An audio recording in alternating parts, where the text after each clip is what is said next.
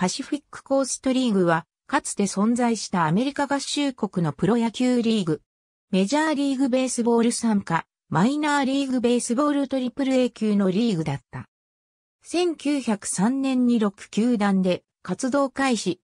1946年にトリプル A 級の格付けを与えられ、1952年にはトリプル A 級を超えるグレードであるオープンという分類を唯一与えられたリーグとなった。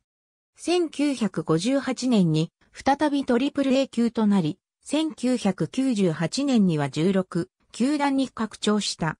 リーグはアメリカンとパシフィックの2つのカンファレンスに分かれ、各カンファレンスはさらに北部と南部に各4球団ずつ分かれていた。2020年6月30日、新型コロナウイルスの感染拡大により、この年のシーズンが中止となった2020年のシーズン終了後に MLB のマイナーリーグ組織再編に伴いリーグは消滅した。リのエーシズの本拠地、エーシズボールパーク。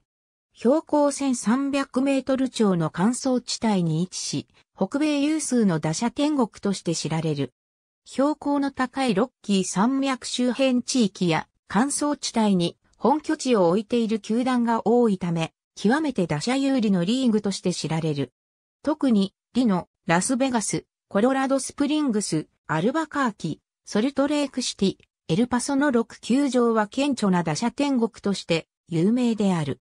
2011年のリーグ平均打率は286、オプスは807で防御率は5.13だった。東海岸のトリプル A 級リーグであるインターナショナルリーグが平均打率260、オプス729、防御率4.03でメジャーリーグと同程度の水準にあるのに対し、パシフィックコーストリーグの打者優位は明らかである。